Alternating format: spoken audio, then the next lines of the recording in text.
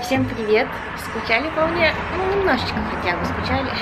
У нас сегодня замечательная погода. Я решила надеть платье. Машка вообще в футболке и в шортах. С тобой собачка здоровается. Ну, конечно, да, да, да, да, конечно, да, видим тебя. Да, видим, видим. Она постоянно гавкает. Постоянно. На меня последние дни нападает какая-то лень. Мне хочется просто лежать и ничего не делать. Сегодня меня Паша вытащил из дома. Едем сейчас покушать, пообедать. И я хочу бутербродов. Хочу что-нибудь, в общем, какие-нибудь типа панини. И вот он нашел какое-то кафе. Сейчас покушаем. Мы приехали в очень интересное место. Там внутри, это, ну, как бы называется таверна, это когда внутри игровые автоматы и можно покушать. Тут как бы очень опасно. Вот пахнет прям казино. Там вот игровые автоматы, люди сразу играют и кушают. Мы, в общем, поэтому сядем снаружи. Здесь не пахнет ни куревом, ничем. На улице приятно, классно. Вот, заказали панини и сейчас покушаем. Здесь просто панини на вид красиво выглядит. Сомнительное я, конечно, место выбрал, но сейчас проверим, как тут на вкус вообще эти панини, но выглядят они очень опасно. Опасно выглядит во всех пониманиях, короче. Все, давай есть уже. Надо помыть руки. Между прочим, было очень вкусно, но я не смогла это доесть. Возьмем с собой. Приехали в фермерский магазин Спраус. Надо срочно купить фруктиков. Катя всех съела вчера. Ки, смотри, я нашел тебе расческу. Ты так открываешь? Магия? Вряд ли я смогу что-то приписать. А что, нормально. Ну, Что-то не похоже на фрукты, Кис. Почему это голубика в темном шоколаде? А, ягоды тоже фрукт. Умно, умно. Как мне жалко, конечно, американцев, они не знают, какие персики на вкус, потому что когда мы только не приходим, вот в любое время суток, дня, ночи, времени года, там зима, осень, неважно, всегда какие-то дубовые персики. Очень редко, когда они мягкие и, ну, по-настоящему, как персики. Это просто камень, они прям... Да-да, войдите. Катя говорит, что их замораживают. Мы попробуем их, в общем, в коричневую бумагу положить э, на несколько дней. Возможно, они подсозреют. Но они дома немножко зреют. Тут надо будет проверить, потому что это, знаешь, может быть как с хурмой. Хурма, она бывает твердая, но когда ты ее ешь, она вкусная, не вяжет, сладкая. А, ну да. Может, с персиками также. Просто эти персики я знаю, что они деревянные. Что, ты будешь съесть? Почему я? Ну, в смысле, вот я взяла три штуки, взять еще будет хватит? Возьми еще пару. Но она такая, не сильная. Придется тоже ее завернуть в пакетик. У нас сейчас начался еще сезон винограда. Вот видишь, какая красивая. Да, хорошая. Я вообще больше люблю либо э, темный виноград, либо красный. А Паша больше любит зеленый, да? Я люблю больше вкусные и без косточек. Так они все без косточек. Здесь вот. Видишь, сидлес. Я возьму вот это. Ну да, много не надо брать. Ну, просто это красивый. Давай. Мы его поели один раз, хватит. А так мы взяли малинку, персики, апельсинки, авокадо, помидоры, сливу. Авокадо это фрукт. Ну да, все верно. Какие красивые, смотрите, герберы белые. Я вообще давно белые не видела. Там какая-то редкость здесь. Что здесь еще есть? Розы, всякие букетики. Эти тоже красивые. Кошка уже на кассе. Катя кукушка. Я? Да. Но мне... Ты, ты слышь, курочка моя. Она забыла мне сказать, что мне домой нет ветчины. Как я, буду завтра? Конечно. Но ты могла это на- напомнить, когда мы были в магазине, когда мы уже вышли, уехали. Ну я Пришлось возвращаться. Где ветчина? в итоге. Напомнила. Ну, практически было поздно уже. Где ветчина? Вон ветчина лежит. Срочно, срочно, памкин сидер. Под логом Сузи Кате писали, что у нее очень маленький живот, поэтому мы приехали это исправлять во французскую бейкери, пекарня. Сейчас купим булочек, наедимся и живот подрастет, ребят.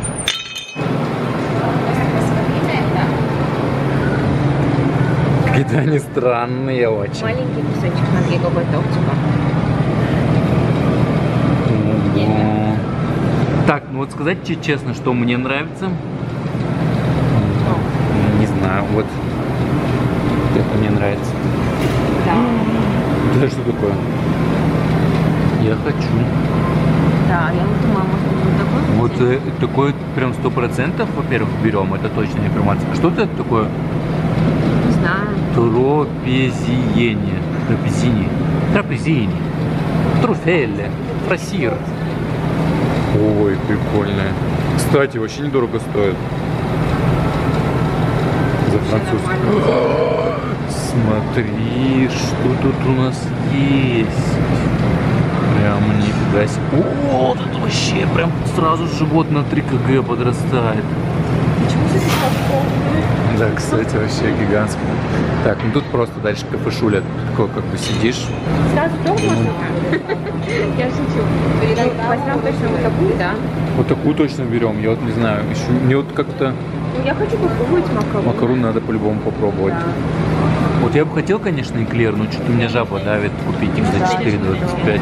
Дороговато, мне кажется, Такой, должен. просто вот этот 5,50 уже большой. Да, да, да. Да, да, да. Он должен 2,50 стоить. Просто за рулем Ламборгини дедуля с бабулей. Классно. Они потратили всю пенсию. Ну, конечно. Я сразу представляю себе, что он какой-то крутой хирург или что-нибудь такое. Стоматолог, может. Короче, врач. Точно врач. По-любому. В субботу спать неохота, сон для усталых взрослых детей. И приглашаем... Просто третий раз уже. Или четвертый. Заросли жду, если смелый, ловкий и умелый, джунгли тебя зовут. Джунгли зовут. Кто такой же старый, как мы? 90... Не помнит эту передачу. 94 года. 94 года, прикинь. Офигеть. Взяли попробовать 5 макарон, и они такие вкусненькие оказались. Хоть кажется такими малюсенькими, но на самом деле такая одна штучка вообще прям сытная. Сидим сейчас в интернете, выбираем столик, вот этот, который при диване. Я, кстати, даже не знаю, как он называется. Ты знаешь? А, по-английски он называется end table, либо side table. По-русски я даже понятия не имею. Ну, как нет, не кофейный. Кстати, помнишь, ты говорила про отаманка или что-то типа Да. того? Это ты посмотрела, что это такое? Нет? Вот по-английски это называется отомен, Да. а по-русски атаманка это совсем другое. Интересно. В смысле? Ну вот смотри, вот по, Да, по-английски. по-английски отомен, Да. а теперь смотри, э, что такое атаманка. Очень интересная информация. Вы вместе с нами гуглите. Да я вставлю. Видишь? Диван какой-то. Ну, это просто такой вид, мне кажется, атаманки. Вот, я не знаю, как Но это то же самое. думаешь. Мгм. Тут диван какой-то, а там посередине вот штучка. Хотя вот тут вот есть такая. Ну, Просто они разные, типа, мне кажется, бывают. Вообще не знаю. На самом деле очень сложно. Вот и сейчас я выбираю какие-то вещи, да, для ребенка.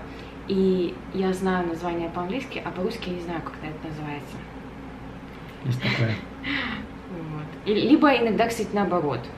По-русски знаю, а по-английски такая, блин, как же это по-английски? А-а-а». Нашли на Wayfair вот такой э, сайт тейбл. Мы, правда, не знаем, какого размера, поэтому цена может быть совсем другая, но это максимальная цена. И смотрите, стоит 48 долларов, а бесплатная доставка от, где там, от 49, и просто доллара не хватает для бесплатной доставки. Вот вроде нормально, как бы он выглядит. Э, ну и вот диван такой же, как у нас, ну как бы нормально, да, сочетается. А вот на Амазоне мы открывали их, они какие-то очень странные. Он прям видно, что вот этот металл какой-то стрёмный, в общем, нам не понравился. Вообще в Америке очень распространено заказывать все, что угодно по интернету, даже продукты, хлеб и вообще все, все. Продукты, хлеб. Продукты, хлеб, молоко, окей, огурцы, помидоры. И... Но особенно в крупных городах, ну, как бы вообще... типа в Сан-Франциско, это очень распространено. Ну, как бы это такая культура.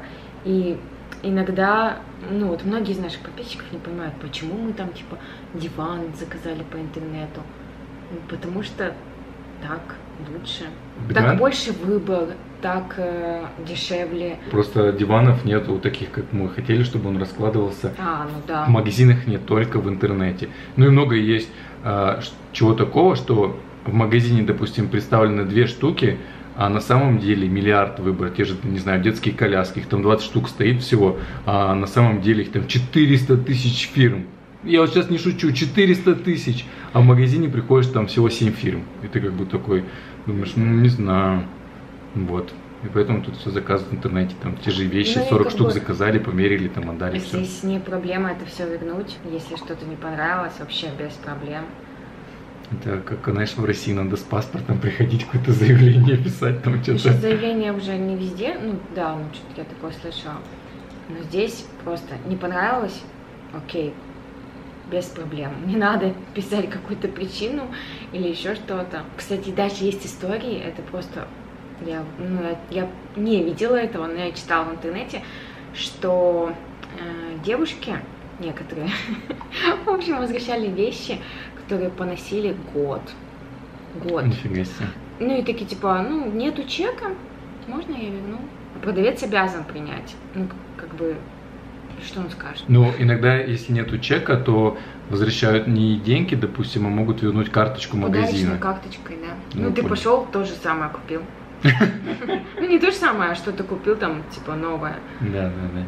Вот. Я не знаю, на самом деле такое бывает или нет, или это придуманная история, но мне кажется, что такое возможно. Я предлагаю мой сачок для рыбалки, который я купил год назад. Через год у меня кончится лицензия, пойти его сдать. Он 9 долларов стоил, я им не пользовался. Там до сих пор ценник висит. Ценник висит, я скажу, что ну чек потерял, мне дадут э, 10 баксов, ребят. Ну, чисто ради эксперимента можно попробовать. А почему нет? Спустя год, как бы, так и назовем видео. Возвращаем вещи спустя год использования. Это мой муж. И я смотрю, чем же он вчера занимался без меня. А в итоге там сдирают за масло и фильтр. Ребят, будем с вами уже прощаться. Увидимся завтра. Всем хорошего, супер-мега удачного настроения. И пока-пока. Пока-пока. Удачного настроения, дебил вообще.